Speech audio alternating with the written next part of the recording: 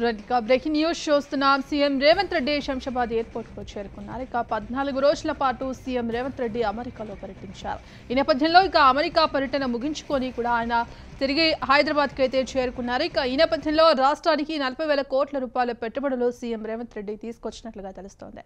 ఇక ఇందుకు సంబంధించి మరిన్ని అప్డేట్స్ మా ప్రతినిధి సూర్యప్రకాష్ అందిస్తారు. సూర్యప్రకాష్.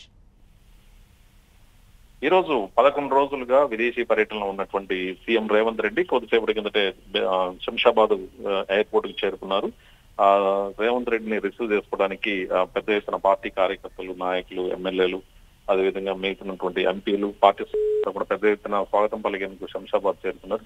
అయితే గత పదకొండు రోజులుగా అమెరికాతో పాటు దక్షిణ కొరియా పర్యటించినటువంటి సీఎం రేవంత్ రెడ్డి తెలంగాణకు పెట్టుబడుల లక్ష్యంగా పర్యటన మొత్తం కూడా యావత్ సాగినట్టుగా చెప్పవచ్చు. దాదాపు ముప్పై వేల కోట్ల పైగా పెట్టుబడులు అదేవిధంగా తద్వారా ముప్పై వేల మందికి ఉపాధి అవకాశాలు కూడా సాధించే దిశలో ఎంఓఏలు కుదుర్చున్నట్టుగా చెప్పవచ్చు.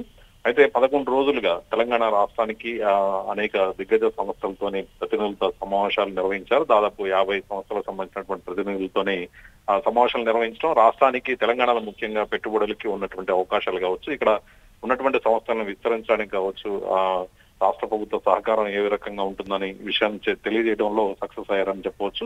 తద్వారా రాష్ట్రానికి పెద్ద ఎత్తున ఈ పదకొండు రోజుల పర్యటనలో పెద్ద ఎత్తున పెట్టుబడులు కూడా సాధించినట్టు చెప్పవచ్చు.